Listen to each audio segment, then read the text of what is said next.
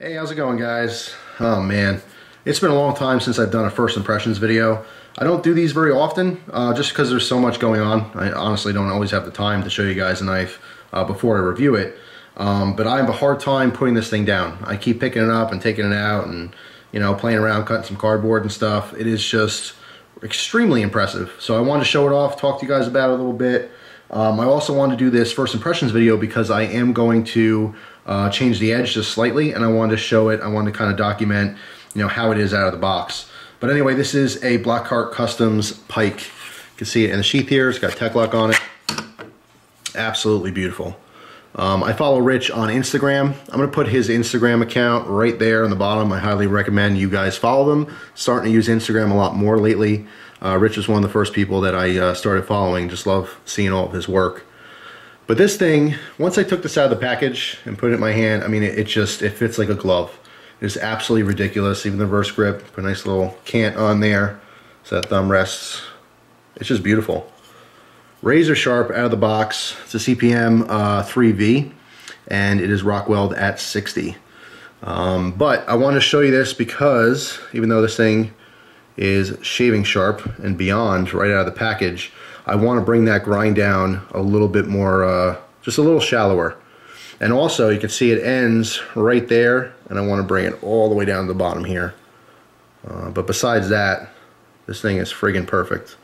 Right, you can see those nice red spacers on the back, short chubby blade, double finger choil on here. This thing's a beast, an absolute beast. And the kicker is I had him put that on the blade, the K Cole. It's for Kentucky Colonel. I wanted the Colonel on there, but I wanted to uh, make sure that it wasn't confused with the military Colonel. So I got the K on there as well for Kentucky Colonel. This is a blade that uh, I was very impressed in seeing pictures and stuff, and it just doesn't do it justice. I can't wait to do the review on this.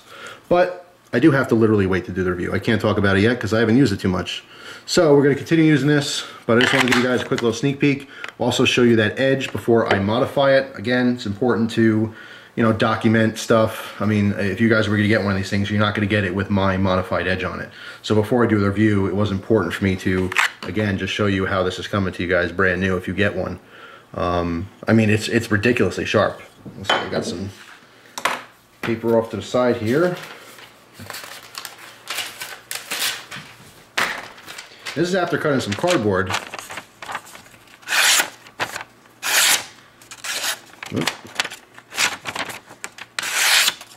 You know what I mean? It's crazy sharp out of the box. I don't need to do anything with the edge.